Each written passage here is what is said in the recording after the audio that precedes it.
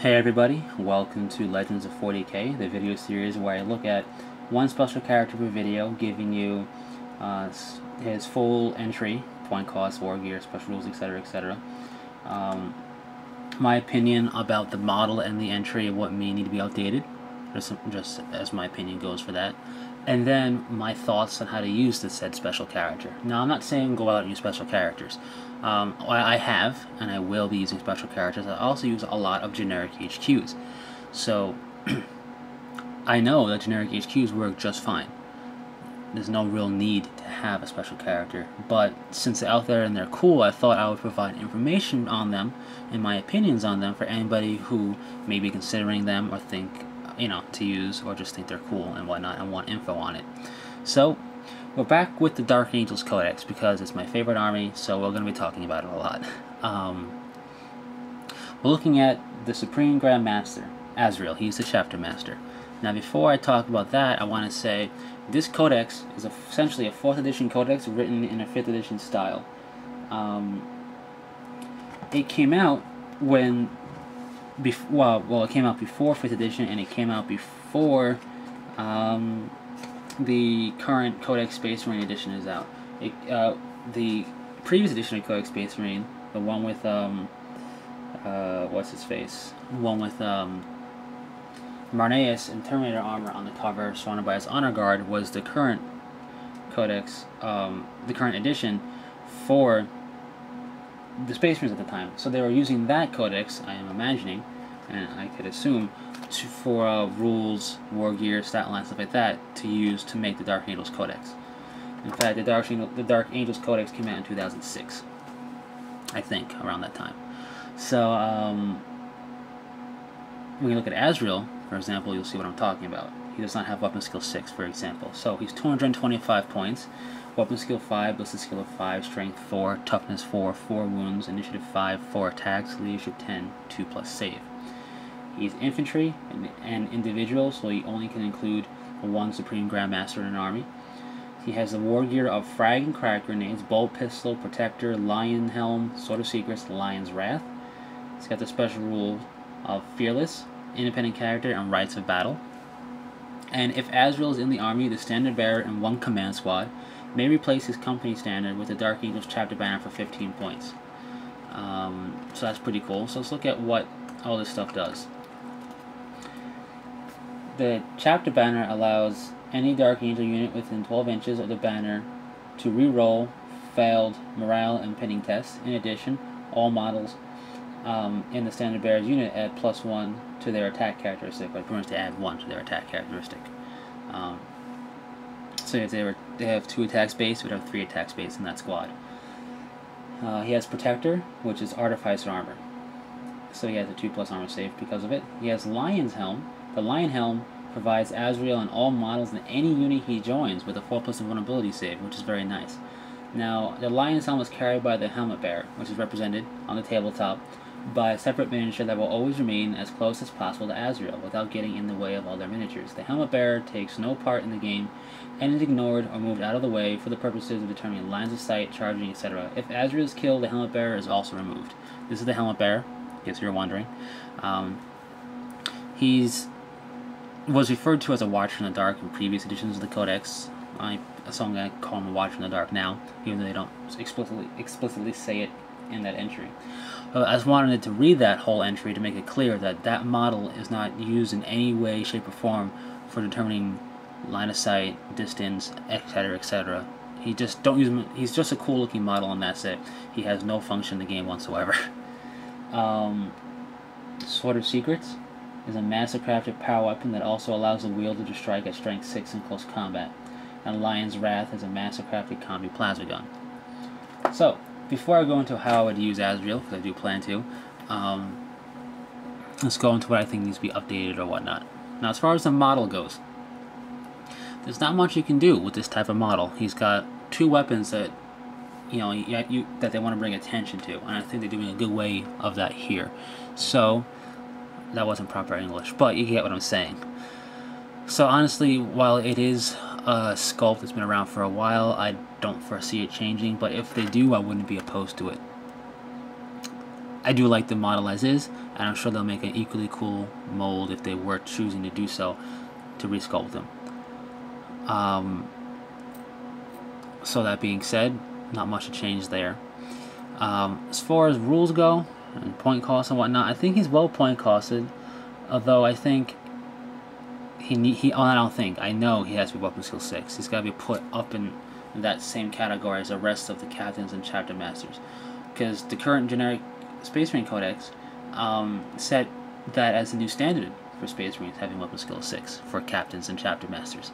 So, therefore, Azrael should be weapon skill 6. Um, on top of that, nothing else really needs to be added. I would say um, he could benefit from being having the rule relentless. I think would be a cool rule to add to Azrael.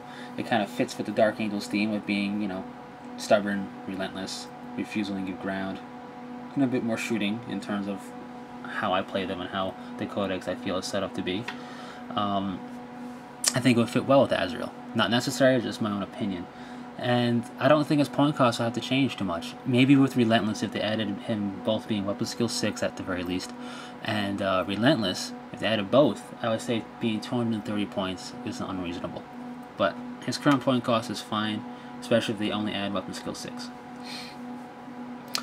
Um, that being said, uh, not his entry, but relating to him, there needs to be either a separate honor guard entry because as you look at it now, um, the Wolf Guard of Space Wolves are essentially the chapter masters, a Logan's personal bodyguard type of bit with Arjac or like squads, with Arjac being his personal champion, who is an upgraded character for that squad. Then you have the honor guard of the uh, Codex Space Marines being there as the honor guard for the chapter masters, only taking four chapter masters so that obviously makes sense there. Um, and you have the Sanguinary Guard essentially as the honor guard for the chapter master there in the Blood Angels. So it would make sense that something like that should go in for the Dark Angels. The reason why I mention that is because in accordance with the current errata, which I've checked last week, so if it has changed, I don't I don't know about it yet but Azrael is not allowed to have a company master in his command squad because he does not lead a company. Therefore, you cannot have a company champion. Did I say master? Well, I'm still a little tired, but um, in the command squad, if you have a company master, you can field a company champion in that command squad. But if you're fielding just Azrael, you cannot field a company champion because he does not count as a company master because he is the chapter master. So with that in mind, you don't get to have that character, that um upgrade. Um, not, not that I'm not upset because it's like extremely overpowering thing because it's not. Um, it's just the ability isn't there, and I think, and there's nothing to replace it. So either they gotta make a complete honor guard type squad for Azrael to take if he's fielded, or they need to make some type of chapter champion upgrade for the command squad that can only be taken if Azrael is in the army. Just because I like those type of characters, I think they they're they are cool for fluff and whatnot and look cool on the battlefield. so that's the only thing I would say as well it needs to be changed. But how would I use Azrael? Well, there are a few ways you can use him, just like there's a few ways you can use any special character. Um, his strength 6 power weapon is very nice. It's mastercrafted. He can add his bolt pistol so he counts as having plus one attack because of having two close counter weapons, which is very nice. So with that, you can use him aggressively and assault him. Uh, use him as an assaulting character attached to a decently, uh, a, not decently, a decent assaulting squad. Um, if you're going to use him in this role, I highly suggest a Land Raider or a Crusader. If you want to attach him to a 10-man squad or a Terminator squad, you're going to need the Crusader if you're going to attach it to a five-man squad or something where he can fit in it, um, then you can use a regular Land Raider. He will add, if on the charge, you'll add, I believe, six attacks to uh, at strength six at initiative. That's a lot. That's that's a lot. That's good. So he's not he's not a beat stick like other special characters um, tend to be a little bit like Mephiston or Logan or Marneus or Abaddon. but he's not a slouch either. He, he does very well in my opinion. If you're going to use him in this role, don't overextend him. He has weaknesses just like every character does. Um, weaknesses in the shooting phase.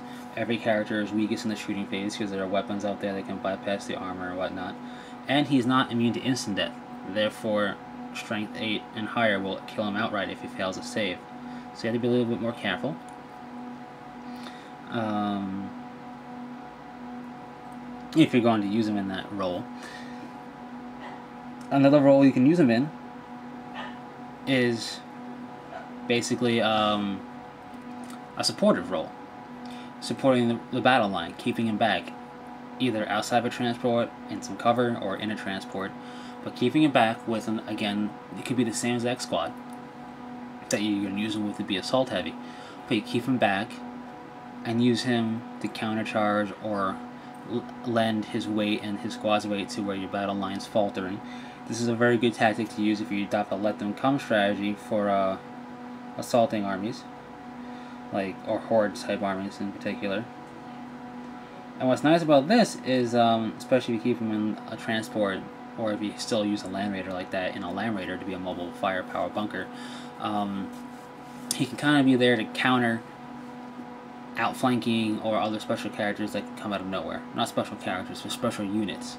Um, like commandos, for example, especially if they got boss Snikrot. Um, he they that they can come from your deployment zone, from your table edge, I should say. So keeping Azrael back a bit like this can be a good counter for stuff like that. As well as, you know, shooting at the rest of the enemy army and then counter assaulting it. That's that's how I like to use characters and how I like to use squads in general, especially if they're really good in the assault phase, is to kind of hold them back a bit and use them to counter assault. Um, because you don't really need to uh, use him to kill an enemy, kill off enemies to make him effective. If he's hanging out somewhere in a battle line with, like, let's say, a squad full of power, a squad full, uh, a squad full of um, assaulting uh, weapons type of bits, like with assault marines, or if you have a company veteran squad kit out to be assault heavy, keep that somewhere in a Land Raider, let's say, or a Crusader, or whatever.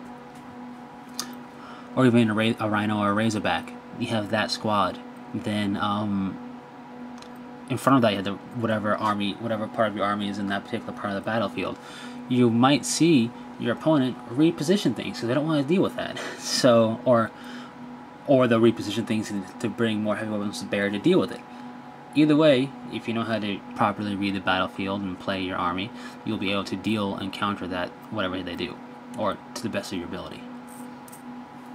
But that's how, that's pretty much the two ways I would use Azrael. Either I would I would properly support him. I wouldn't just overextend myself and push him forward in a Land Raider or a Crusader, but uh, I would do that, send him out there, and assault into things. Now, being that he's not immune to instant death, I wouldn't throw him into against like a squad full of like a 10 man squad of power fists or anything like that, but I would definitely throw him up against um, a lot of other things.